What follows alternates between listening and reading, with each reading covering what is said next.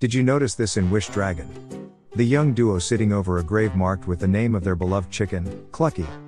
In the next scene, they are seen holding a chicken drumstick each. Clucky was a trusted companion, but that relationship is apparently second to the kids' insatiable hunger.